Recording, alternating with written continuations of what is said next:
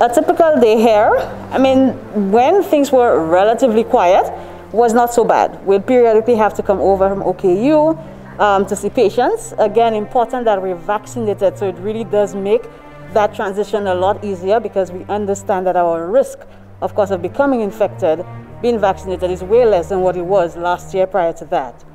With this current surge, it really has been quite difficult. Um, and I'm not full-time staff here, so the staff here certainly are better able to um, enunciate what the day here is like. So I would come when patients are referred because they're nephrological issues. And we are seeing a lot of that kidney injury because of COVID or kidney injury in patients with chronic disease, but because of COVID it has worsened. So the number of patients here is significant. And that's what we want St. Lucians to understand, that it's really not an issue of just COVID and I'll be okay that there's a lot that could happen, that there could be injury to multiple organs. We are seeing, and we saw this with the previous surgeon, we've seen this throughout the time that we've been handling COVID, the psychological impact on patients.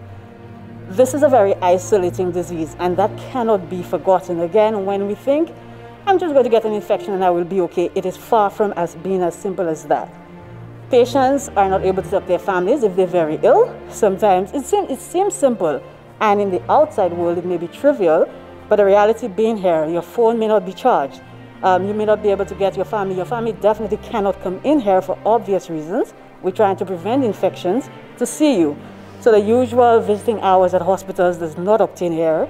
Relatives cannot come in to bring in basic supplies for patients, and that is tough on patients. And they tell you that every single day that you go in. It's almost said as much as Doc, I feel this, or I'm having shortness of breath, or the usual symptoms that we would expect because of COVID-19.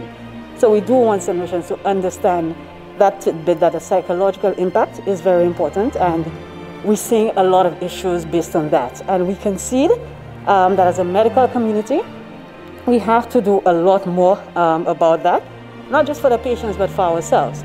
Because are physicians here who've been dealing with this. We all have been to a certain extent but those who stationed here who've been dealing with this for the past 19 months. It has taken a toll and it continues to take a toll. So we'd like to urge St. Lucians to help us to help you. The reality is if we each don't do our part, it is going to continue. If we don't get vaccinated, it's going to continue.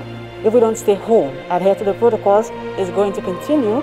And we're human at the end of the day that if we get tired, which we are, we're resilient, but we're human.